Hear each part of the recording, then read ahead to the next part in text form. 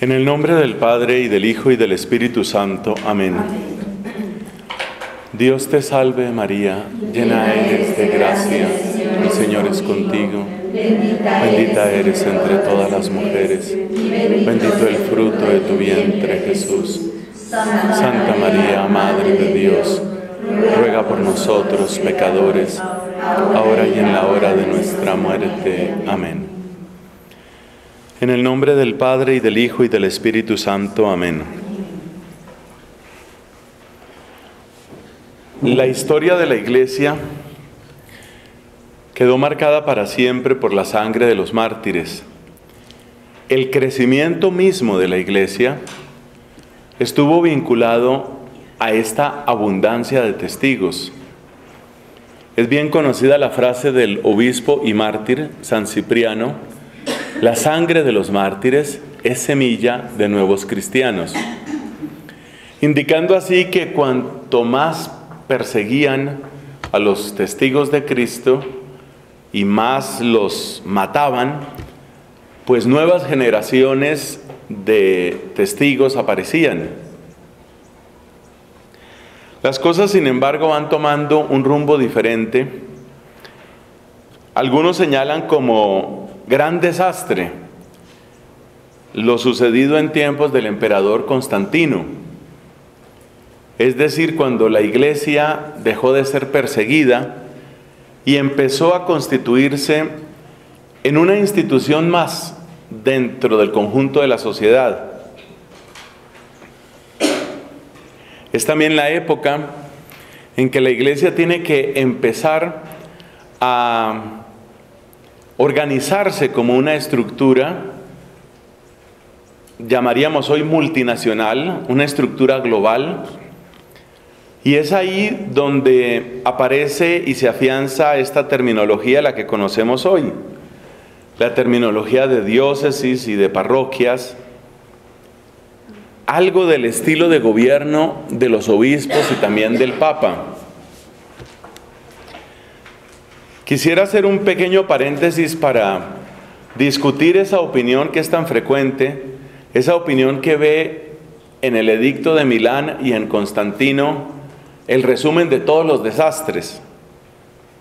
Es decir, el hecho de que la iglesia haya dejado de ser perseguida y el hecho de que el emperador abrazara la fe cristiana se ve como el peor de los errores. Me parece un modo muy extraño de razonar, porque nosotros encontramos en el Nuevo Testamento que el apóstol San Pablo invita a que oremos para que se pueda llevar una vida en paz. Es verdad que Dios puede sacar muchas cosas buenas de los tiempos de persecución, pero eso no significa que sea deseable la persecución como objeto de oración. Es aquí donde tienen su importancia las cifras que dimos en nuestra charla pasada. Si en algunas de estas persecuciones se calcula que hasta dos terceras partes de los cristianos apostataron, eso no es ninguna alegría, eso no es ningún triunfo. Porque eso significa que una multitud comparable con la de los testigos le dio la espalda a Jesús, renegó de la fe cristiana, blasfemó de muchas maneras contra Dios, cometió sacrilegio, eso no es para alegrarse. Entonces yo pido que no idealicemos la persecución y no idealicemos los tiempos de persecución como punto número uno. Como punto número dos, el ideal cristiano no puede ser que el emperador sea un pagano o que el presidente, en el caso nuestro, sea un pagano. El ideal cristiano siempre será que nuestras autoridades crean en Cristo y sirvan a Cristo. O sea que el hecho de que el emperador se convierta a la fe cristiana en sí mismo es algo maravilloso. Esa es una buena noticia.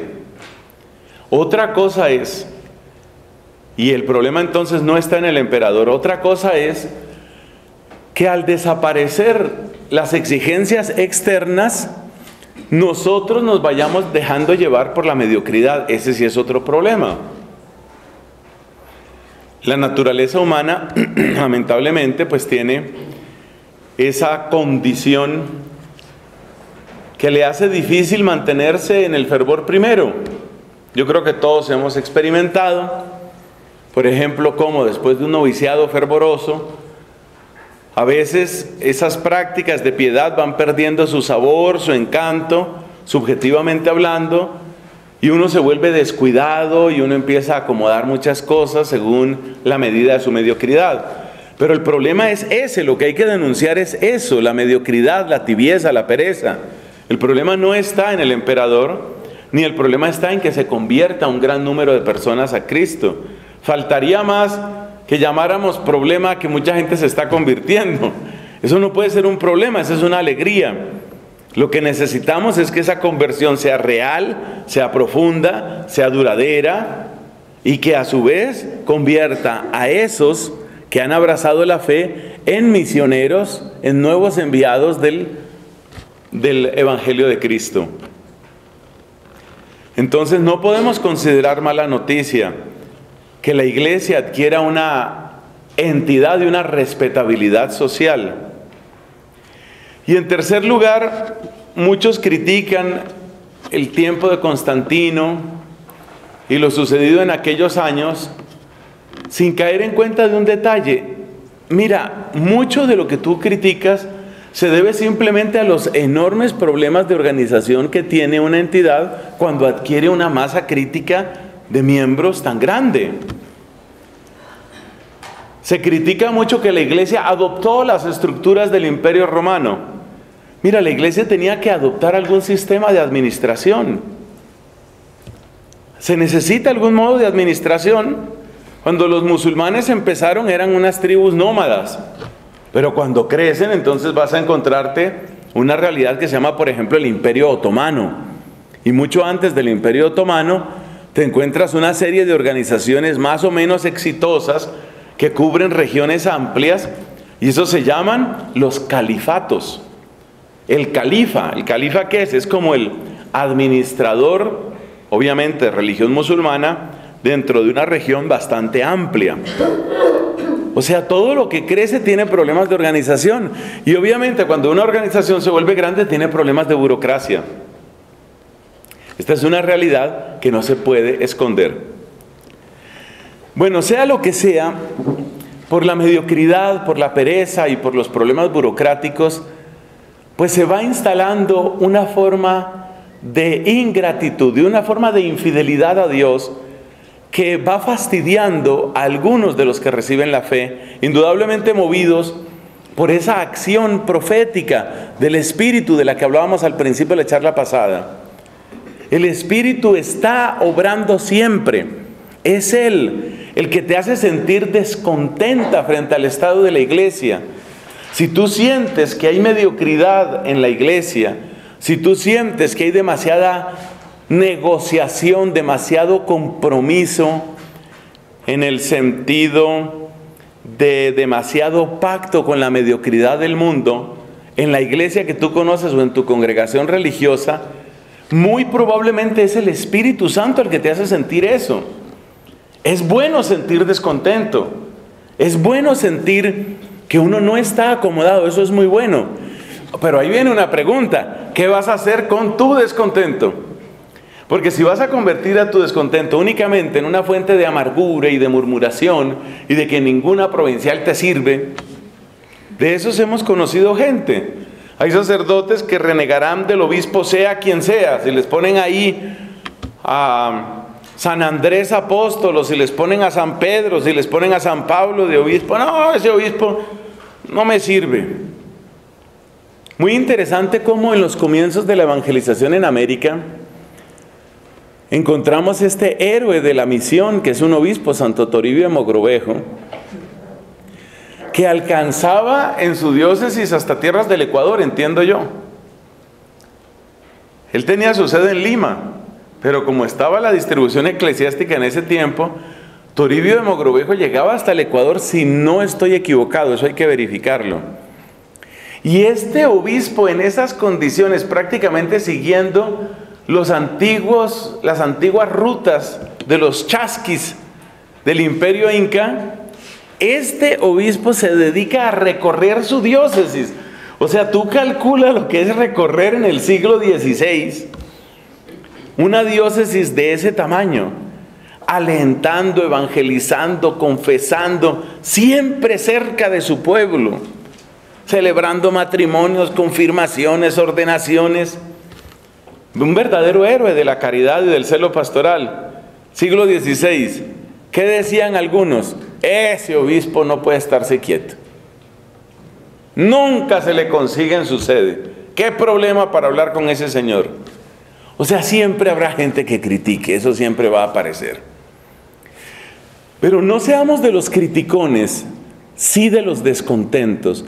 Y yo creo que este capítulo de nuestro retiro es muy importante. Es el capítulo en el que nos asomamos a los orígenes mismos de la vida religiosa. Los monjes, los ascetas, los grandes contemplativos del desierto. Qué hermoso descubrir en estos hombres y mujeres patente ese fuego del Espíritu. Qué hermoso descubrir que ellos vivieron esa inquietud y vivieron ese descontento de una manera creativa. Toma tu descontento, tómalo, pero tómalo como, como una fuerza de vida. Tómalo como un motor que Dios ha puesto dentro de ti para que tú vayas más allá. Es hermoso. El descontento es importante, pero hay que saberlo canalizar. Con un galón de gasolina uno puede andar en un automóvil no sé cuántos kilómetros. O con, un, galón de gasolina uno puede pegarle fuego a una casa y destruirla. Entonces tu descontento es importante. Sirva eso de introducción a este hermoso tema. Ahora pasemos a algunas de las características. Yo he querido señalar cinco de las características de estos primeros monjes, entre los cuales descuella en el siglo III San Antonio, llamado Antonio Abad. Recordemos que la palabra abad está relacionada con abá, la palabra aramea que significa papá. Entonces, abad quiere decir padre, padre espiritual. De ahí viene, por supuesto, también abadesa, que entonces será una madre espiritual. Entonces, Cinco características. Esta es gente que se va al desierto. La zona donde con mayor renombre se dio este fenómeno es el desierto que rodea la antigua ciudad egipcia de Tebas. Y por eso se habla de la Tebaida. Tebaida es el nombre de una zona desértica amplia pero no completamente muerta ni estéril, por supuesto, que queda cerca de la ciudad de Tebas en el antiguo Egipto. Y en esa zona desértica, en esas cavernas y en condiciones muy, muy difíciles, se va abriendo paso un modo exótico de vida cristiana. ¿Cuál es ese modo? Se trata de los monjes y de las monjas. Aunque desde el principio la tendencia femenina fue mucho más a la vida en comunidad, lo cual corresponde bastante a la psicología del hombre y de la mujer. Hubo también ermitañas muy famosas, mujeres anacoretas las hubo, reclusas las hubo, que era una forma también de ser ermitaña. Ese tipo de vida existió para las mujeres pero lo más propio, lo más eh, frecuente entre las mujeres era la vida en comunidad. Bueno, es un cristianismo raro. Uno puede preguntarse si eso tiene algo que ver con el Evangelio. O sea, haciendo la pregunta un poco de manera retórica, claro. ¿Qué tiene que ver con el Evangelio que una persona se vaya a pasar dificultades y a estar a solas en el desierto? Pero hay precedentes. El desierto es el lugar del encuentro y del diálogo con Dios para Moisés. El desierto es el lugar de la formación para Juan el Bautista. Juan el Bautista fue formado en el desierto. Nos dice el capítulo segundo de San Lucas, y estuvo en el desierto hasta que hizo su aparición en Israel. O sea, el desierto forma. Luego el desierto fue también el lugar de predicación de Juan. Luego el desierto y la soledad fueron el escenario de las tentaciones de Cristo después de recibir el bautismo. Cuando Pablo se convierte, después de haber acumulado tanto odio contra los cristianos, cuando este hombre se convierte, según cuenta él mismo en la carta a los Gálatas, se fue al desierto. Y da una cifra enorme. Él habla de 12 años, aunque la manera de contar los años para ellos era distinta. Pero es difícil que fueran menos de 10 años según esas cuentas. O sea, Pablo estuvo mucho, mucho tiempo llevando una vida que solo puede calificarse de una vida como monástica, una vida en el desierto. Realmente no sabemos mucho sobre eso. Él estuvo en el desierto muchos años o mucho tiempo. Entonces sí hay precedentes de lo que significa el desierto, sí hay precedentes de la importancia del desierto. Y sobre todo está ese texto que ya viene desde el Antiguo Testamento, ese texto de Oseas, yo la llevaré al desierto y le hablaré al corazón. Tampoco olvidemos, por favor, a Elías, el gran modelo para la vida de Juan el Bautista. Elías finalmente tiene que ir al desierto y solamente sostenido por Dios avanza en el desierto y en su camino en el desierto llega hasta el monte de la alianza como bebiendo de las fuentes mismas de la fe. O sea que no, no, es, no es tan ajeno, no es tan ajeno al cristianismo. Los que estamos acostumbrados un poco a mirar al cristianismo únicamente como una agencia de servicio a personas necesitadas, necesitadas de educación, necesitadas de cuidado, necesitadas de salud, necesitadas de dignidad humana, quizás nos puede parecer un poco extraño esto de ir al desierto y puede parecer pérdida de tiempo, pero es lo mismo que mucha gente sigue sintiendo hoy, por ejemplo, con los monasterios de clausura. ¿Qué hacen esos tipos allá encerrados? ¿Qué hacen esas mujeres allá encerradas habiendo tanto trabajo por hacer? Prácticamente la mayoría de lo que hemos dicho de Elías y la mayoría de lo que hemos dicho de Juan el Bautista se puede aplicar perfectamente aquí para el desierto. Es un lugar de silencio, por consiguiente un lugar de escucha, un lugar de oración. El hecho de que sea un lugar de silencio indica una renuncia, una toma de posición, y es una toma de posición distante, de los discursos del mundo, de las murmuraciones del mundo, de los ídolos del mundo, de las modas, detrás de las cuales suele correr el mundo. El silencio ya es una actitud profética y la capacidad de silencio es siempre algo que sorprende.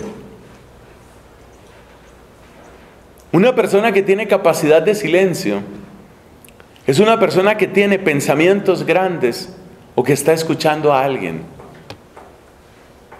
En el desierto, en el silencio, surgen esas grandes convicciones, surgen esas profundas convicciones, porque en el silencio la palabra termina por adueñarse de nuestro corazón. El desierto, lugar de oración, que se convierte entonces en un gran testimonio. Observemos que la carta a los hebreos en varios lugares, pero especialmente en el capítulo 10, tal vez el capítulo 11, enfatiza mucho en el tema de ser fieles a las asambleas. Es decir, que ya había cristianos que estaban empezando a optar por un cristianismo de mínimos. ¿Qué es lo mínimo que yo tengo que hacer para que no me cancelen la, la partida de bautismo? Y por supuesto que un cristianismo de mínimos es un cristianismo sin vigor, un cristianismo sin horizonte, sin capacidad de misión. Además, las cartas que nos encontramos, las cartas a las iglesias en los capítulos 2 y 3 del libro del Apocalipsis, también nos demuestran que la mediocridad y la ley del menor esfuerzo y que una cierta capacidad de negociación con las herejías del mundo ya estaba presente en aquellas comunidades. Entonces, este silencio y esta vida de oración es un testimonio profético muy grande. Así como Gandhi preguntaba, y lo recordábamos hace poco, cristianos, ¿qué habéis hecho de vuestra alegría? Yo creo que una pregunta que también es válida es, religiosos, ¿qué habéis hecho de vuestro silencio? ¿En dónde ha quedado nuestro silencio? Cuando yo estaba para terminar mis estudios de secundaria, estamos hablando del año 1980, hace ya bastante tiempo, treinta y tantos años, tuvimos una convivencia y había que ir a una especie de casa de retiro que quedaba aledaña al convento de Santo Domingo, donde ahora vivo. Tenía yo 15 años de edad, entro a ese convento, un edificio grande, frío, silencioso. Pero a mí no me pareció, como a algunas personas les parecen ese tipo de construcciones, macabro, tenebroso, miedoso. Más bien me pareció solemne, me pareció bello, me impactó. Y yo creo que una de las cosas que tenemos que propiciar son esos espacios de silencio, de silencio real. Era algo tan sagrado el silencio que se utilizaba esa expresión. Silencio sagrado o gran silencio se utilizaba. Después eso se volvió un poco un chiste, quedó como relegado al pasado. Pero sea de una manera o de otra, la recuperación del silencio es muy importante. A mí me da mucha tristeza con muchos de nuestros religiosos jóvenes que no pueden funcionar sin, un, sin algo que esté sonando. Cuando ayudan, por ejemplo, que tienen asignados, nuestros estudiantes tienen asignados distintos lugares para colaborar con el aseo del convento, una casa muy grande, uno ve que algunos optan por poner con una grabadora a gran volumen música festiva, música popular. Como eso fastidiaba mucho y se comentó varias veces, entonces utilizan unos audífonos pero tienen que tener un ruido, tienen que tener alguien ahí que les esté hablando. La sensación que yo tengo es que cuando una persona necesita todo el tiempo que le estén echando palabras, es porque está vacía. Un corazón lleno, un corazón ocupado en amar, en servir, en meditar, en buscar la verdad, sencillamente no soporta que le estén echando más cosas. Estoy, estoy lleno y estoy en lo mío. Entonces ahí hay un testimonio profético. Fíjate, por ejemplo, en la organización de las convivencias, yo espero que ustedes estén mejor que nosotros, pero en las organizaciones de convivencias y de retiros para jóvenes, los horarios típicos son como una cadena de salchichas. Viene esto, luego esto, luego esto, luego esto, luego esto, luego esto, luego esto y luego esto. Y finalmente, para la casa. ¿En qué momento, en qué momento esos jóvenes o esas jóvenes llegan a quedarse a solas? Tienen una tremenda dificultad. Incluso, sin que yo me convierta aquí en el profesor regañón, ustedes notan que en un retiro espiritual cuesta trabajo. Y a unas personas más que a otras. Y, y es una necesidad de, de compartir y que me hablen y cuando yo veo gente que necesita que le hablen y que todo el tiempo me acuerdo de mi bisabuelo.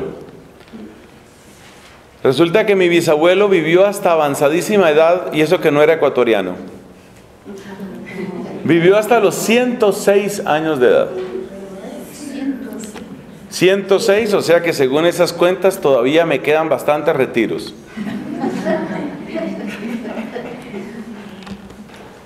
Mi bisabuelo, hacia el final de sus días, iba perdiendo el oído, bastante explicable, y lamentablemente iba perdiendo también un poquito la cabeza, también explicable.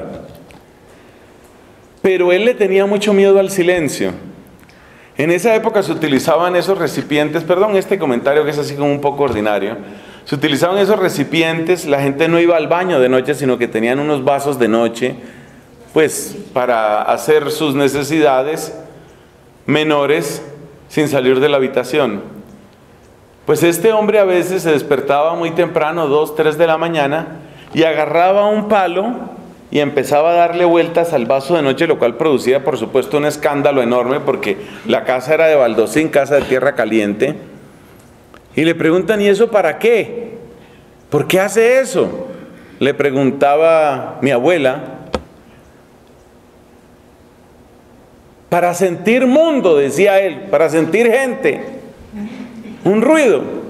Entonces yo cuando veo que hay gente que tiene que estar a todas horas con algo enchufado en el oído y tiene que estar oyendo, oyendo música, oyendo noticias, oyendo farándula, oyendo novelas, oyendo programas, todo el tiempo, eso, eso no puede ser. O sea, pregúntate en dónde está ese hueco en tu vasija, porque eres una vasija rota, se te está saliendo el contenido por alguna parte y, no te logras llenar. Lo propio del silencio es la persona que, que está absorta en algo, que vive dentro de ella. Entonces los monjes del desierto se convierten en los testigos de la vida interior. Son el gran recordatorio de que la fe cristiana es en primer lugar un acontecimiento que conquista nuestro corazón y nuestra mente. Eso es lo que hay detrás de ese silencio. Penitencia y anuncio de bienaventuranza. Muchos llevaron la penitencia a unos extremos que uno podría llamar demenciales. Recordemos que hubo unos que se llamaban los dendritas. Los dendritas eran monjes que vivían en árboles. Y muchos de ellos por allá encaramados en un árbol, pasaban meses, pasaban años allá viviendo en un árbol. Por supuesto, esa es una terrible penitencia, una tremenda incomodidad. Otros, en cambio, aprovechando las formaciones rocosas que existían, entonces vivían allá en la cima de alguna de esas columnas, como en una columna de piedra, y allá se subían, los estilitas se llamaban ellos, entonces vivían por allá encaramados, con una característica, no tenían ninguna protección, ni para el sol durante el día, ni para el frío, ni para la lluvia durante la noche. O sea, se sometían a los elementos de frío, de lluvia o de granizo o de nieve, lo que cayera, se sometían allá y allá pasaban años. Y si alguien se apiadaba de ellos y les daba comida, entonces bajaban una especie de ollita con una cuerda, comían eso y de ahí hasta que otro pase y me dé comida. Es una vida de extrema penitencia, es una cosa loca. Dentro de las mujeres, un modo de vida extraño que prosperó unos años después, no en esta misma época, era la vida de las reclusas, de las que ya hablé. Se llamaban reclusas a mujeres que vivían dentro de un espacio, es decir, lo que llamaríamos una celda, una habitación. Pero el tema es que no salían de ahí, nunca. Por eso se llamaban reclusas. No salían nunca. Algunas de estas reclusas tenían esas construcciones aledañas a una iglesia, de manera que solo había una ventanita que comunicaba con la iglesia para que esta monja pudiera pues asistir a la Santa Misa y etcétera. En casos realmente extremos, no solamente estaba cerrada la puerta, sino que echaban ladrillo. O sea, literalmente no podía salir de ahí, era ya su tumba. Cuando se muriera, tenían que romper para sacar el cuerpo de la persona. De nuevo, eso parece completamente loco.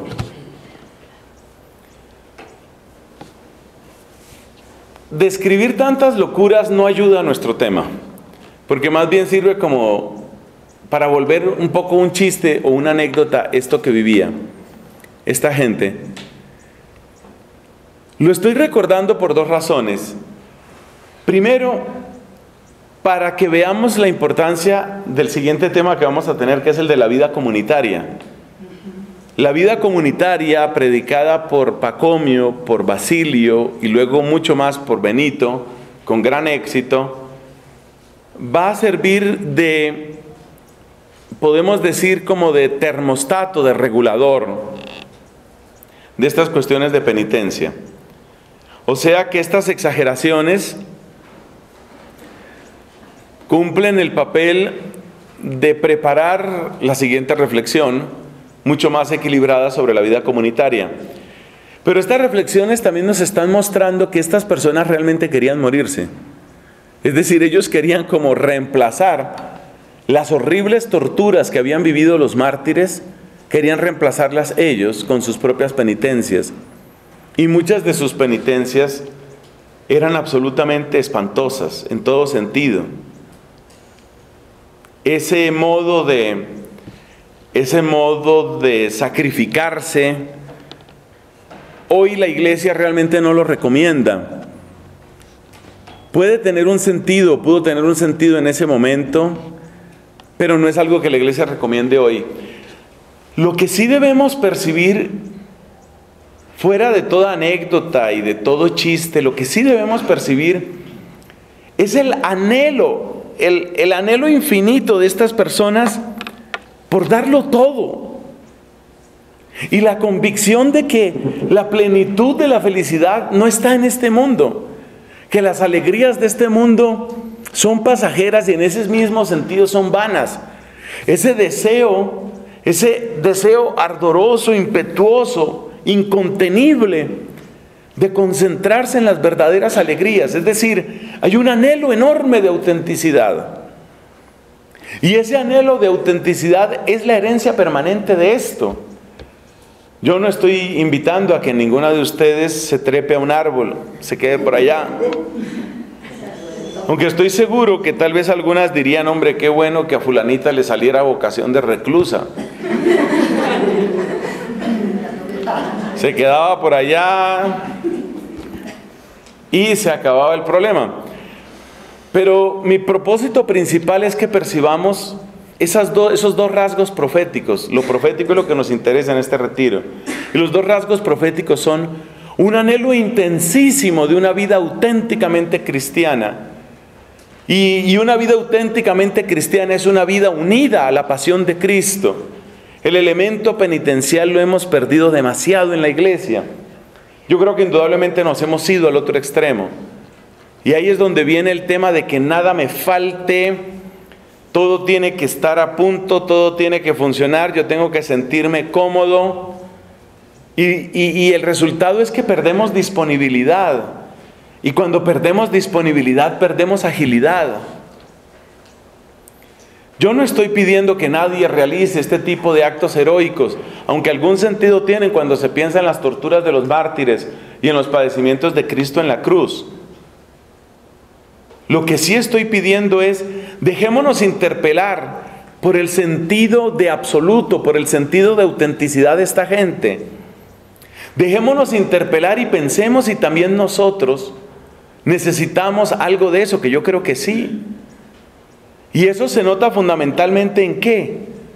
Pues como lo enseñan nuestras constituciones, se muestra muy, muy particularmente en el voto de obediencia. Es singularmente en la obediencia donde se experimenta ese anhelo de autenticidad, porque es singularmente en la obediencia donde uno renuncia. Es en la obediencia donde uno dice, pues estoy dispuesto a padecer algo, nunca voy a padecer lo que padecieron los mártires, ni lo que padecieron los monjes del desierto. Seamos sinceros, uno no va a padecer eso. Y probablemente eso no es lo que espera el Espíritu Santo de nosotros. Pero el Espíritu ciertamente quiere que nosotros tengamos ese anhelo de autenticidad, que se vea claramente lo que dijo San Pablo, estoy crucificado con Cristo. Eso tiene que verse. Que nadie me moleste, yo llevo las señales de la cruz, dice Pablo. Y yo muchas veces me pregunto, ¿en dónde están las señales de la cruz en mi propia vida?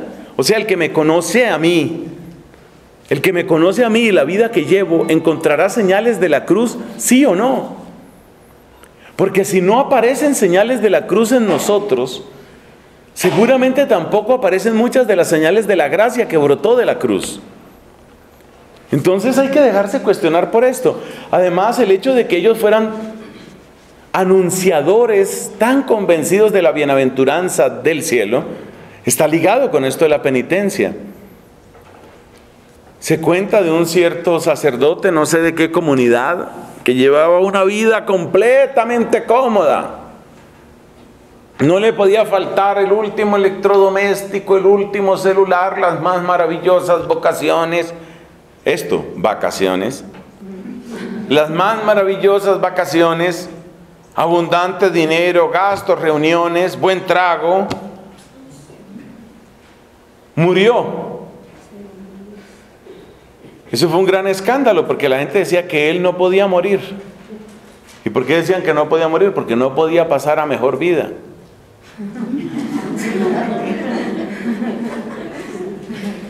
Tenemos que preguntarnos eso.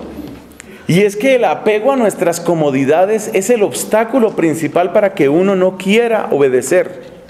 La falta de agilidad, eso no nos digamos mentiras, la falta de disponibilidad, esa resistencia para que me cambien de un sitio está ligado a esto. Es que no quiero perder lo que tengo. Es que ya tengo organizada mi vida. Es que ya tengo bien instruida la cocinera, que es la que sabe cómo hacerme. En su punto quedan las cosas. Uno no quiere incomodarse, uno no quiere sufrir, uno no quiere que le desacomoden el mundo.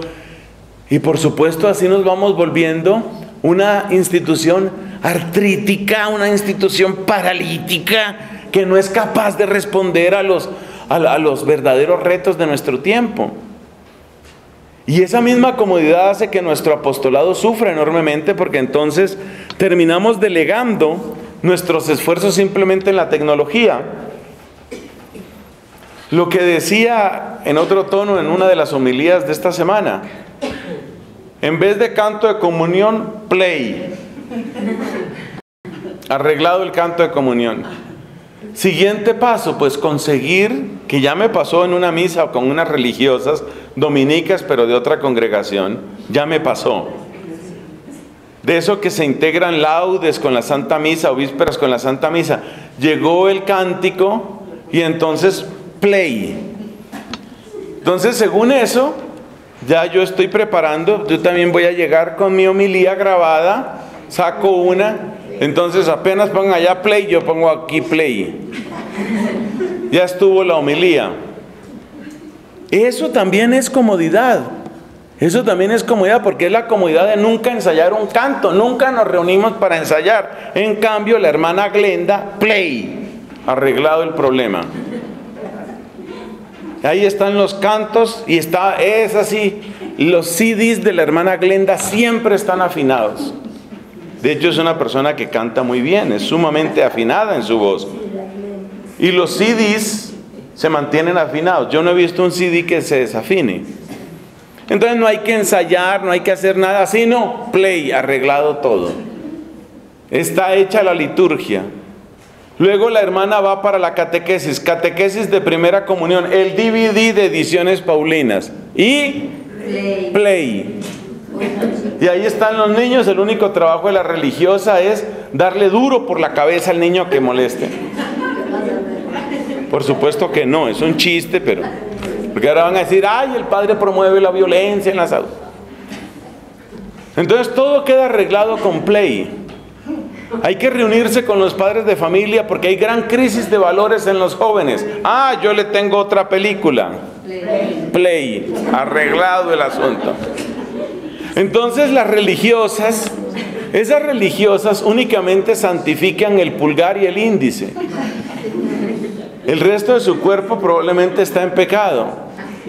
Porque lo único que con lo que ellas evangelizan es con el pulgar para el stop y el play para y el índice para el play. Entonces son religiosas que si quedan incorruptas van a encontrar solo los dos deditos. Porque el resto nunca se santificó. Esta manera chistosa de hablar es solo para que les sea más fácil de recordar. A veces las exageraciones ayudan a que uno recuerde. Entonces, cuidado con ser religiosas play. que, es muy fácil. Padre, pero de repente ¿Cómo? De repente, sí, cantamos todo, de repente, sí. Ser en, en, en, otro retiro, en otro retiro con, con otro padre que esté así bien cansado, que ya no pueda. Yo todavía tengo así un poquito de fuerzas, pero no. Y yo les cuento una cosa, ya que estamos en este paréntesis. Les digo que de las alegrías que yo tengo al venir al Ecuador es que me gustan mucho los cantos que ustedes tienen. Tienen más variedad, pero nosotros en mi país empezamos a perder mucha riqueza los frailes por pereza en los ensayos. Y las religiosas han perdido lo que ustedes no se imaginan por un botón que se llama play. No pierdan su tesoro, no pierdan su tesoro. El Ecuador tiene unos tesoros. Este canto, por ejemplo, que hicieron a la Virgen antes, lindísimo. Ustedes tienen unos tesoros de poesía y de música, pero eso requiere esfuerzo y requiere enseñarlo a las otras generaciones. Entonces no pierdan lo que tienen. Bueno, sigamos. Distancia y dirección espiritual. Esto es muy bonito. Esto es muy bonito porque es muy profético. Resulta que Dios le dijo al profeta Jeremías,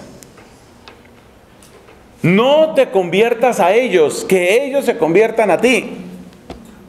Y es muy hermoso ver en este episodio de la historia de la iglesia, que son los monjes del desierto, cómo muchas veces ellos buscaban las soledades, las cavernas, los desiertos, los yermos, y allá llegaba la gente, como cumpliéndose literalmente lo que dijo Dios a Jeremías. Y esto es muy importante porque a veces, sobre pretexto de actualizarnos y de mantenernos al ritmo del mundo, vamos nosotros corriendo detrás del mundo. Y lo que están mostrando los monjes del desierto es que allí donde hay santidad y presencia de Dios, tarde o temprano es el mundo el que tiene que venir. Y viene en términos que ya no son los de la arrogancia, ni los de la codicia, ni los del mercado, sino vienen en términos de humildad y de conversión.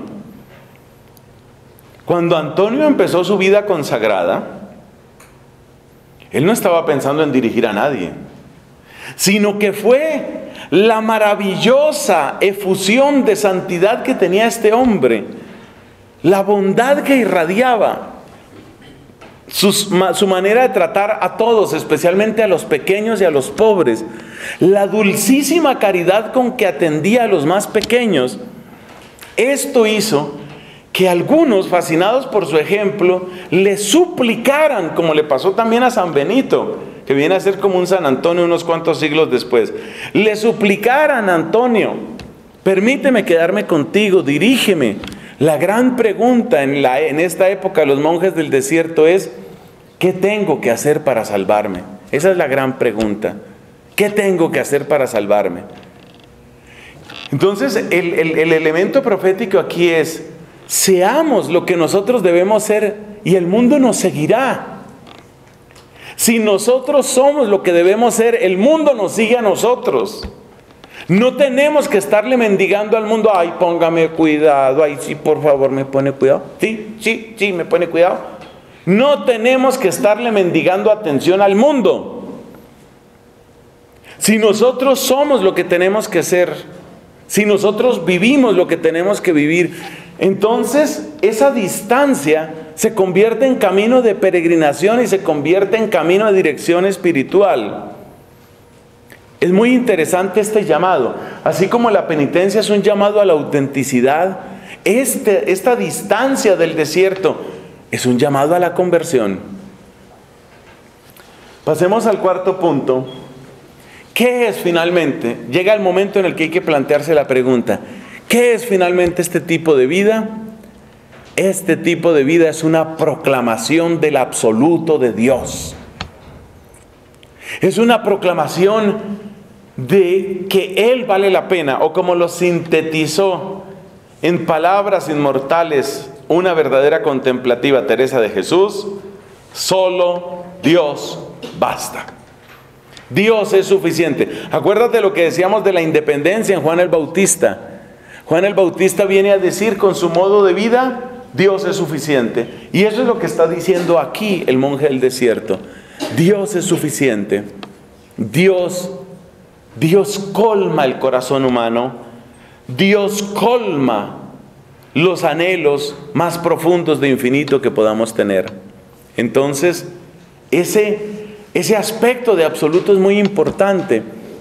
Pero por supuesto, allí donde se proclama el absoluto de Dios, tarde o temprano tiene que dejarse sentir lo que se opone al reinado de Dios. ¿Y qué es lo que se opone al reinado de Dios? Pues como encontramos ya desde la vida de San Antonio, pues va a aparecer el ataque del enemigo, va a aparecer el ataque de Satanás. Una de las características por las que es recordado San Antonio Abad, lo mismo que San Benito y otros grandes fundadores, es por su lucha contra el demonio. Pero más allá de esa lucha específica, por ejemplo, en términos de exorcismos o liberaciones, es un hecho concreto que proclamar los derechos de Dios, como diría Pascal, proclamar el absoluto de Dios, tarde o temprano nos pone en línea de colisión con los ídolos de este mundo. Y eso es bello, eso es grande. Saber dar ese paso y saber que estamos peleando contra los ídolos de este mundo. Recordemos el famoso sermón de Antonio de Montesinos en Adviento, allá en 1515, 1516 Recordemos el sermón de Adviento. Antonio de Montesinos, respaldado por toda una comunidad que ha orado y que ha reflexionado sobre la situación, sube a ese púlpito y básicamente lo que hace es declararle a todos esos encomenderos españoles que estaban ahí, declararles ustedes van derecho al infierno. Así como van, van derecho al infierno. Oiga, qué valentía de este señor. Porque resulta que esa comunidad, ¿de qué vivía? De esos. ¿De qué podían vivir esos frailes? Ellos vivían de esos. Si te das cuenta la libertad, la soberana libertad con la que hablan estos frailes cuando empiezan a reclamar el maltrato contra los indígenas, la frase famosa de Antonio Montesinos, estos no son hombres. ¿Qué os han hecho estas pacíficas gentes para que los tratéis de esa manera? Que algunos de ellos, ya comenta Antonio Montesinos en ese comienzo, que algunos de ellos dicen que no quieren ir al cielo por no encontrarse con ustedes, si ustedes van a ir al cielo. Esa era la condición de algunos indígenas. Y esto es real, esa historia es real de un indígena que le decía al, al sacerdote, le decía, Padre, yo, yo quiero decirme al infierno. Ay, ¿cómo dice eso? ¿Para qué dices esas tonterías? Deja de blasfemar. No, yo quiero irme al infierno. Y cuando pidió explicación el padre, el indio le dijo, es que yo quiero ir donde no estén esos. Esos que lo maltrataban a él y que se supone que van para el cielo. Entonces date cuenta que hay un combate espiritual, hay un vigor, pero este vigor este vigor de denuncia, este vigor que entra en colisión con los ídolos de este mundo, ¿de dónde sale? De esto, del silencio, la oración, la penitencia, la certeza de la bienaventuranza celestial, de haber tomado una distancia real de los ídolos de este mundo, primero uno, de tener autoridad, de ahí, de esta base, se construye esto. Y ahí viene el combate espiritual. Finalmente, la palabra y la santificación de la memoria. Podemos decir que este es el aspecto más constructivo de lo que realizaron aquellos monjes. Constructivo en el sentido de que la penitencia pues da la impresión de que consiste simplemente en renuncias y renuncias y renuncias. En cambio aquí estamos hablando, cuando hablamos de la palabra, aquí estamos hablando de construir es muy interesante ver que la formación de muchos de estos monjes consistía simplemente en aprenderse amplias porciones de la Biblia, empezando por los salmos.